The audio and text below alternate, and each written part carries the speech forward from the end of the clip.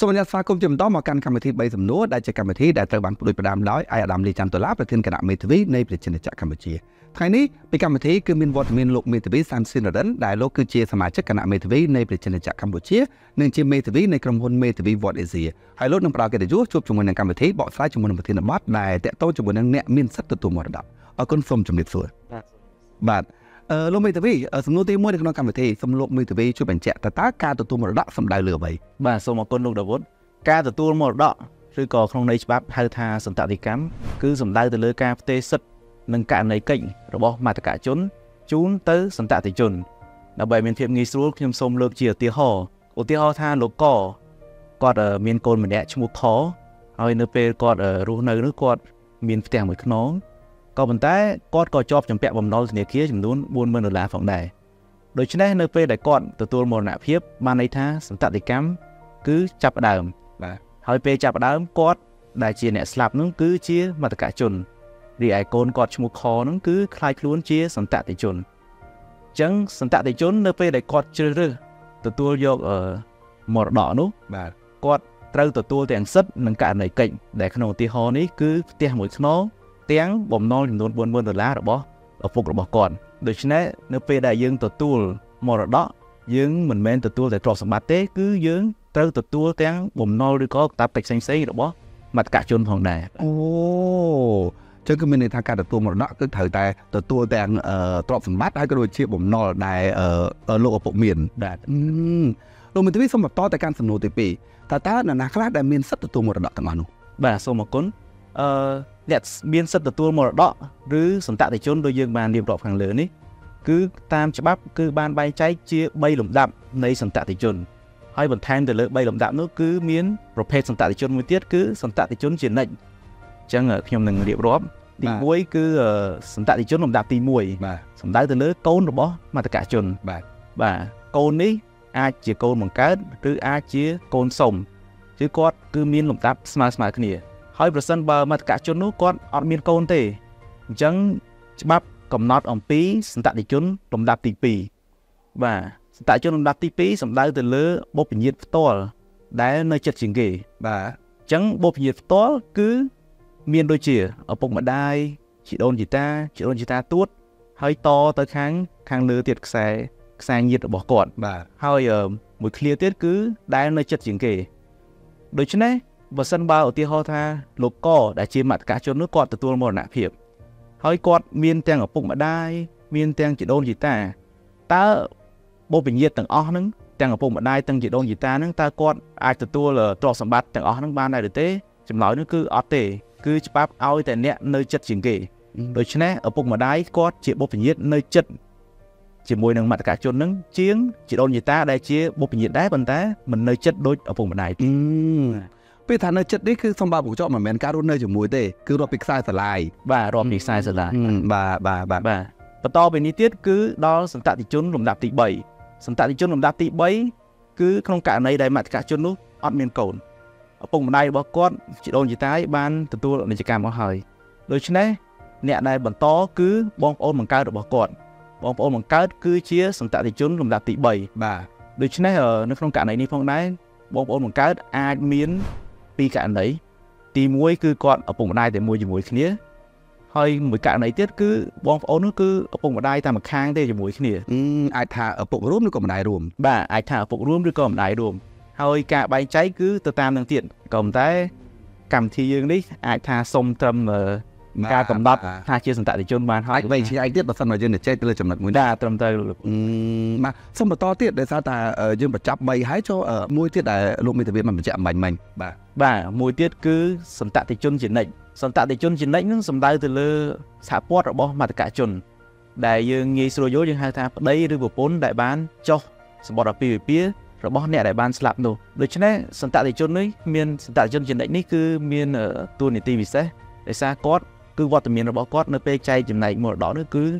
គឺស្វ័យប្រវត្តិជានិច្ចនៅក្នុងលំដាប់នៃសន្តតិជនដែលយើងបានរៀបរាប់ខាងលើយើងមានទី1ទី2និងទី3ហ្នឹងគឺតតែទី1អត់មានបានចូលដល់ទី2ទី2អត់មានបានចូលដល់ទី3ក៏ប៉ុន្តែសតតិជនជានិច្ចនេះគឺគាត់ផ្សារភ្ជាប់ជាមួយនឹងការបែងចែកមរតកគ្រប់លំដាប់បើសិនបើថាសន្តតិជនលំដាប់ទី1មាន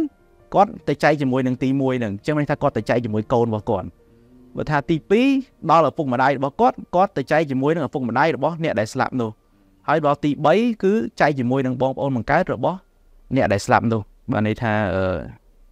ជាលក្ខណៈពិសេសរបស់សន្តតិជនជានិច្ចបាទអឺអរគុណលោកមេធាវីអញ្ចឹងមកគោលដែលលោកមេធាវីបានបញ្ជាក់មិញហ្នឹងគឺសុទ្ធតែជាបុគ្គលដែលមានសិទ្ធិនៅក្នុងការទទួលមរតកទាំងអស់ហើយតែក្នុងចំណោមបុគ្គលទាំងអស់តើមានករណីពិសេសណាមួយកើតឡើងដែរឬទេបាទសូមអរគុណលក្ខណៈសម្បត្តិដើម្បីខ្លាចជាសន្តតិជននោះគឺ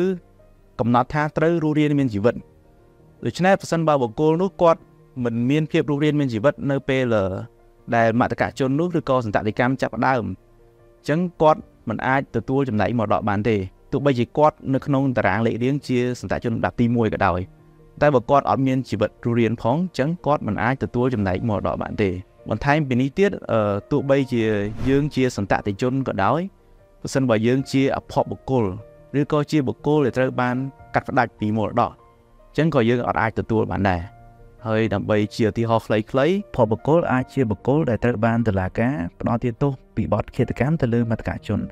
បានន័យថាគាត់នឹងគឺជាអ្នកសម្លាប់មតកជននឹងតែម្ដងអញ្ចឹងគាត់ក៏អត់អាចទទួលបានដែរហើយយើងបាននិយាយអំពីការរស់រានមានជីវិតប៉ុន្តែមានករណីពិសេសមួយផងដែរពាក់ព័ន្ធទៅនឹងទីរូបនៅក្នុងគល់បាទទីរូបនៅក្នុងគល់គាត់ ពេលឧទាហរណ៍ថាពេលគាត់រស់រានមានជីវិតហ្នឹងទីរូបហ្នឹងកំពុងនៅក្នុងផ្ទៃទេបាទក៏ប៉ុន្តែពេលគាត់ស្លាប់ទីរូបអត់ទាន់កើតផងបាទអញ្ចឹងតើទីរូបនឹងអាចទទួលចំណែកមរតកបានទេ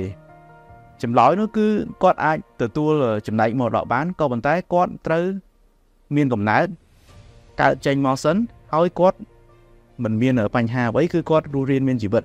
ដូច្នេះបើគាត់អឺរស់រានមានជីវិតបានគឺគាត់អាចជាសន្តតិជនដើម្បីទៅទទួលចំណែកមរតកនេះបានបាទ អឺច្បាស់អរគុណច្រើនអញ្ចឹងសូមបន្តទៅកាន់សំណួរទី3តែម្ដងនៅក្នុងករណីដែលអ្នកទទួលមរតកហ្នឹងគាត់ស្លាប់មុនមតកជនតើមរតកហ្នឹងនឹងខ្លាចទៅជាយ៉ាងណា បាទនៅក្នុងករណីនេះច្បាប់គឺយកមកអនុវត្តនៅសន្តតិកម្មជំនួសបាទសន្តតិកម្មជំនួសនេះសំដៅទៅលើអឺការកំណត់អឺបច្ឆាញាតផ្ទាល់របស់អឺអ្នកដែលស្លាប់នោះបច្ឆាញាតគឺទឹងទៅក្រោមវិញផ្ទុយពីបុព្វញាត គឺមានកូនចៅចៅទួតតាមថ្នាក់ខ្សែញាតហ្នឹងប្រសិនបើគាត់មានបាទ បាទបាទបាទ ហើយគាត់នោះនឹងคล้ายខ្លួនទៅជាសន្តតិជនជំនួសបាទអញ្ចឹងឧទាហរណ៍ថាដើម្បីងាយស្រួលយើងឧទាហរណ៍អឺលោកកគាត់មានកូនប្រុសម្នាក់ឈ្មោះខ បាទ ហើយលោកខហ្នឹងគាត់មានកូនស្រីម្នាក់ទៀតឈ្មោះកអ បាទ ញ្ចឹងអឺកនេះគឺត្រូវជាចៅស្រីរបស់លោកកនេះហើយ បាទ បាទចៃដនលោកខនេះគាត់ស្លាប់ គាត់ស្លាប់មុនឪពុករបស់គាត់បាទដល់ពេលក្នុងករណីនេះនៅពេលដែលលោកកគាត់ស្លាប់អញ្ចឹងតើមានអ្នកណាទៅ ជាសន្តតិជនទទួលមរតករបស់លោកកបើលោកខស្លាប់បាត់ហើយព្រោះយើងជជែកគ្នាថាលោកខជាសន្តតិជនលំដាប់ទី1បាទបាទអញ្ចឹងក្នុងករណីនេះច្បាប់អឺកំណត់អំពីសន្តតិជនជំនួសក្នុងករណីនេះកូនស្រីរបស់លោកខនេះបាទអឺជួមាននសិទ្ធិកហ្នឹងបាទដើរតួជាសន្តតិជនជំនួស ដើម្បីទៅទទួលទ្រព្យសម្បត្តិជំនួសលោកខហ្នឹងអឺជំនួសឪពុករបស់គាត់បាទជំនួសឪពុករបស់គាត់បាទក៏ប៉ុន្តែខ្ញុំសូមបញ្ជាក់បន្តិចថាចំពោះសន្តតិកម្មជំនួសនេះគឺយើងអាចអនុវត្តបានតែចំពោះសន្តតិជនលំដាប់ទី1ដែលហៅថាកូនហើយសន្តតិជនលំដាប់ទី3ដែលហៅថាបងប្អូនបង្កើតតែប៉ុណ្ណោះរីឯសន្តតិជនលំដាប់ទី2ដែលជាបុព្វញាតផ្ទាល់នៅចិត្តជាងគេនោះគឺมันអាចអនុវត្តបានទេបាទអឺ បាទអរគុណលោកមេធាវីដែលបានចំណាយពេលវេលាបកស្រាយជាមួយប្រធានបទយ៉ាងពិសេសជាមួយនឹងកម្មវិធីរបស់យើងក្នុងថ្ងៃនេះហើយចុងក្រោយលោកមេធាវីមានពាក្យពេចន៍អ្វីដើម្បីប្រាំផ្ញើទៅកាន់អ្នកទស្សនាសំជិញបាទសូមអរគុណលោករវុនខ្ញុំសូមអឺធ្វើការកត់សម្គាល់ថាការកំណត់នៅសន្តតិជនឬក៏អ្នកដែលមានសិទ្ធិទទួលមរតកនេះអាចមានការលំបាកហើយប្រសិនបើការកំណត់មិនមានភាពត្រឹមត្រូវឬក៏ការយល់ដឹងអំពីផ្នែកច្បាប់នេះមានកង្វះខាតអាចឈានទៅដល់ចំនួនជាពិសេសគឺ រវាងក្រុមគ្រួសាររបស់យើងតែម្ដងដូច្នេះដើម្បីឲ្យមានភាពច្បាស់លាស់អឺសាធារណជនគួរប្រឹក្សាយោបល់ជាមួយនឹងមេធាវីមុននឹងឈានទៅដល់ការបែងចែកមរតកដែលមានភាពត្រឹមត្រូវតាមច្បាប់ហើយក៏ដូចជាមានសុខដុមរមនាជាមួយនឹងក្រុមគ្រួសាររបស់ខ្លួនផងដែរជាចុងក្រោយខ្ញុំបាទសូមអឺថ្លែងអរគុណទៅឯកឧត្តមធានឌីច័ន្ទដុល្លារធានគណៈមេធាវីនៃប្រជាជាតិកម្ពុជាដែលបានដល់កិត្តិយសឲ្យខ្ញុំបាទចូលរួមកម្មវិធី3សំណួររបស់គណៈមេធាវី ហើយសង្ឃឹមថាគណៈមេធាវីនឹងមានកម្មវិធីផ្សេងៗទៀតដែលអាចផ្ដល់ជាផលប្រយោជន៍ជូនសាធារណជនក៏ដូចជាអ្នកច្បាប់ដែលជាសហភាតារបស់ខ្ញុំផងដែរបាទបាទគុណអរគុណច្រើនហើយក៏អរគុណដល់ប្រិយមិត្តដែលជាអ្នកទស្សនារបស់យើងទាំងអស់ដែលតែងតែគ្រប់គ្រងជាមួយនឹងកម្មវិធី3សំណួរអរគុណជួបគ្នានៅវីដេអូក្រោយគណៈនេះយើងខ្ញុំទាំងអស់គ្នាសូមអនុញ្ញាតគ្រប់នឹងជម្រាបលា